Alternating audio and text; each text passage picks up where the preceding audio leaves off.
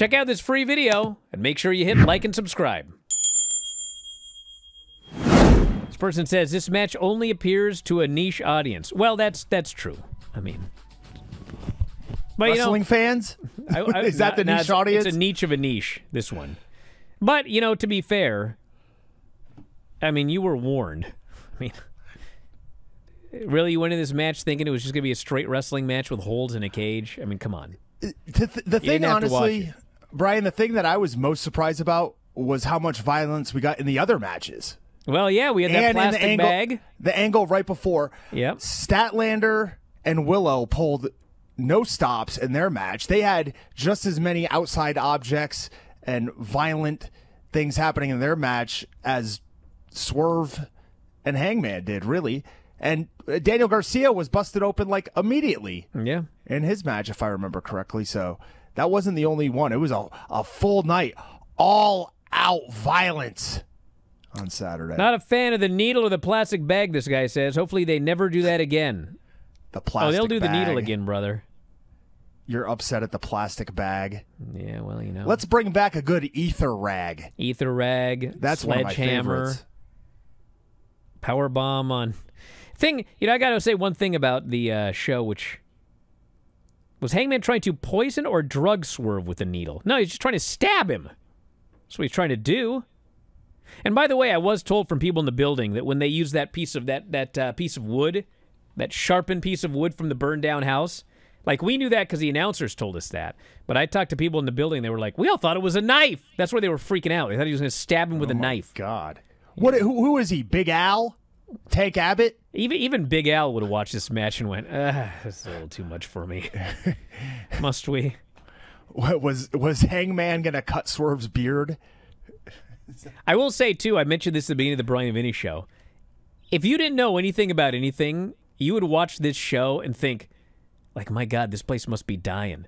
They're like they're burning down houses and they're using needles and power bombs and ether or the uh, the plastic. Like it's just like this is the kind of thing that dying promotions do to try to get the last little bit of buzz.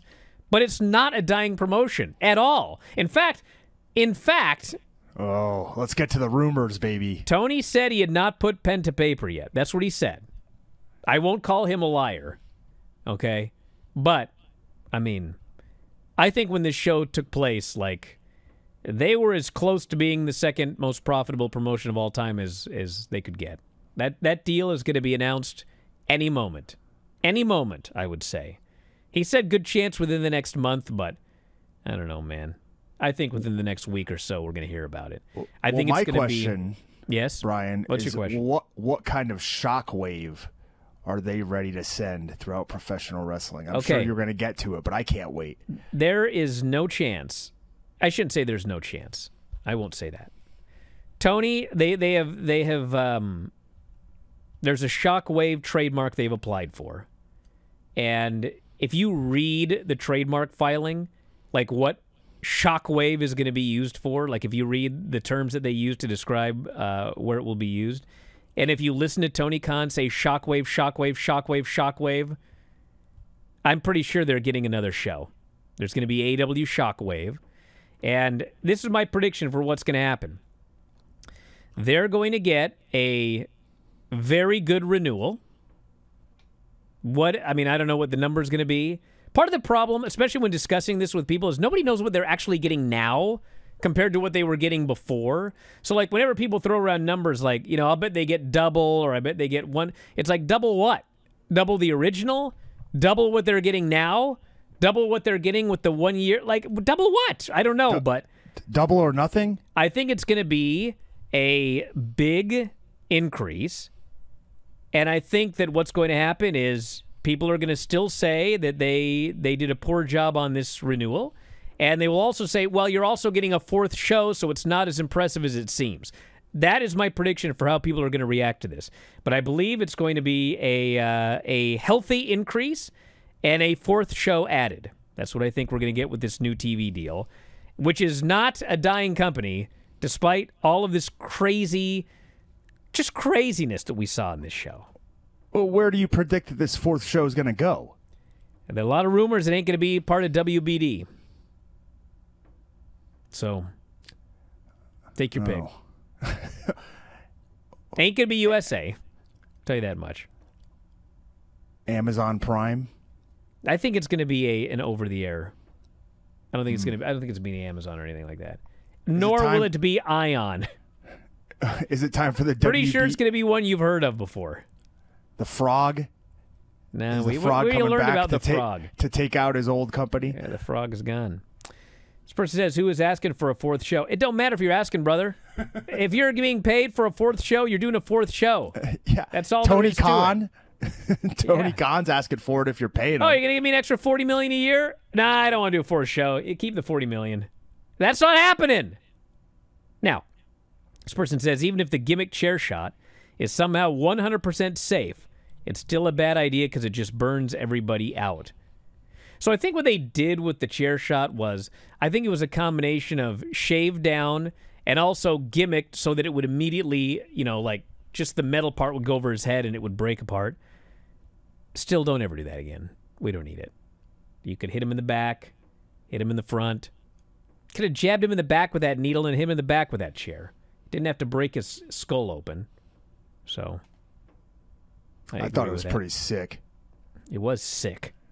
What it Yeah, but in a in an awesome way. Oh, stop. Well, I loved it.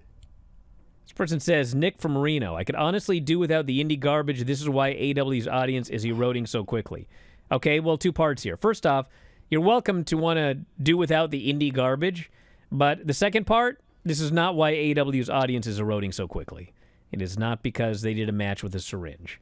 I mean, there's there's many reasons for what's going on. It's multifaceted. It's not one thing, and uh, and this ain't gonna speed up the decline. I mean, their audience may be dwindling, but maybe their audience of the higher ups isn't dwindling if they're getting more money, buddy. Yeah, they're making more money. They're doing very well on cable, even though they're down. Could they be doing better? Of course. Of course. Are they cold right now? Yes. Have they lost a lot of viewers over the last year? Yes. Are they still often number one, two, three on cable? Yes. So two things can be true, which people really don't like when two things can be true. They only want one thing to be true. But that's not the way things work. XPW did a better needle spot years ago. Incorrect. Guy had a guy had a hypodermic needle put through his Jimmy. Oh, Yeah, you ever seen lord. Yeah, hmm. Not I good. did see that. Not good. I saw, I first saw it on the Pain Olympics about 20 years ago. The Pain Olympics. Yeah. I'm sure some. I'm sure there's gonna be some listeners that remember that one, but we probably shouldn't spend too much time on it. So anyway, the main event was incredible. This person says, "I understand if the match was unsettling for some, but you knew that it would be coming in. So if you don't like that part of pro wrestling, don't watch it. Violence will always be part of wrestling. Glad AEW leans into it. I don't think WWE. Of course, they wouldn't do a match like that. And I could tell you there were people in WWE that were like, "What are we doing here?" But of course, you know, both sides do that kind of thing. What are we doing? But there was a lot of that. But said the main event was crazy. That was a brutality of violence to display. That's one way to put it. I also loved it. This person said it was the first time in a while I felt like we had a true alternative to WWE. That was the first time? And the shriek, Tom, made it cinema. The shriek. That other listener should watch Women of Wrestling if they're looking for an alternative to. WWE.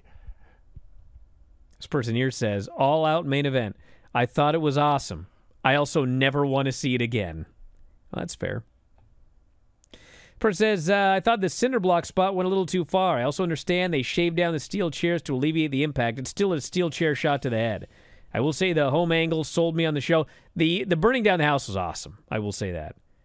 I viewed this as a very predictable show other than the main event. Did you watch the house burning? No, Loved it. I did. I was I was at the Black Label Pro Combine actually at the time that it aired. Oh yeah, I heard that. Uh, was it Jordan just like smashed everybody? Uh, kinda. She won the female crown, Okay, I believe. And uh, for the men, do you know who won? you, you were I wasn't it. even in it. Yeah, I don't remember. It was Jack Swagger, Madcap Moss, Moose, and Parker Boudreaux. I will bet. Who are they again? Madcap. I predict Madcap. Madcap was the winner. And actually, I believe the next day, he and Emma announced that they are expecting yes, a child. They're having so a child. Congratulations to them. Yeah. Yeah, congratulations. Yeah. Quit doing those uh, combines now, brother. You're going to be a dad. Yeah, I thought he was going to blow through the ropes, running the ropes in that 18 foot ring at Black Label Pro. Oh, my Could God. you imagine? No, I would not have done it if I were him. I would need padding outside. Hey, if you love this clip, have I got a deal for you? WrestlingObserver.com. Do you have a commute? Do you work out at the gym? Do you like listening to audio on your headphones or your earbuds or whatever the kids use today? Well, WrestlingObserver.com will give you all the audio you'll ever need in your life over 15,000 audio shows. Every audio show that we have ever done, dating back to 2005, is available for subscribers at WrestlingObserver.com. Every time a new show comes out, you can podcast it directly to your phone. If you have a commute, as noted, if you go to the gym, if you like to lift weights and listen to Granny review soap operas, well, WrestlingObserver.com gets you full access to all of these shows and all of these archives. You can go back and listen to TNA reviews from 2010. You can go back and listen to reviews of every WWE pay per view, every big story that's ever happened in wrestling. You can get access to that at WrestlingObserver.com. Plus, Full access to the Wrestling Observer newsletter every week. 40,000 words of news and information in pro wrestling. Why get all your scoops off Reddit, which aren't even accurate most of the time? Go right to the source, the Wrestling Observer newsletter. You also get Observer archives dating back to 1990. So check it out today. Thousands of issues of the Wrestling Observer newsletter, tens of thousands of hours of audio, all for $12.99 per month or as low as $9.99 if you sign up for a year. You'll never, you'll never run out of audio if you subscribe to WrestlingObserver.com. So head up there, check it out today, and I'll talk to you again after a while.